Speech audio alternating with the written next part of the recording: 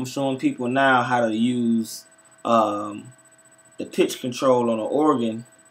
You can do some nice, some nice um, uh, obscure sounds using this pitch control with the organ, especially. Let me show y'all a little something I was working on. Um, and I'm I'm playing this in uh, A flat minor, and I'm playing around.